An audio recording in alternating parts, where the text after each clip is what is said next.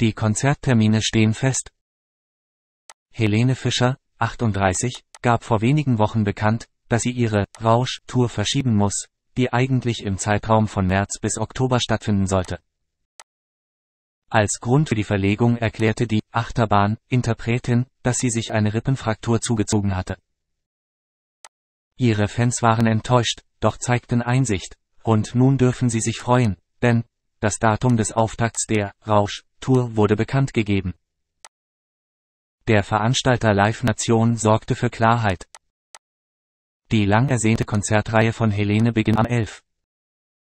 April in Hamburg und werde im Anschluss in den Städten Dortmund, Leipzig, Stuttgart, Oberhausen und Berlin fortgesetzt. Der Schlager-Ikone liege es sehr am Herzen, dass sämtliche von den Fans gekauften Tickets ihre Gültigkeit behalten und nicht die Konzertbesucher die Leidtragenden dafür sind, dass die Herzbeben-Interpretin ihre Tour verschieben musste. Vor kurzem wurde noch spekuliert, ob die Tour überhaupt zeitnah im April starten könne. Ein Sportmediziner schilderte schließlich, es vergehen circa vier bis sechs Wochen, bis der Knochen wieder fest ist. Der Arzt machte deutlich, dass die Genesungszeit von Patient zu Patient variiere und jeder Verletzte für sich selbst entscheiden müsse, ob die jeweiligen Schmerzen auszuhalten sind.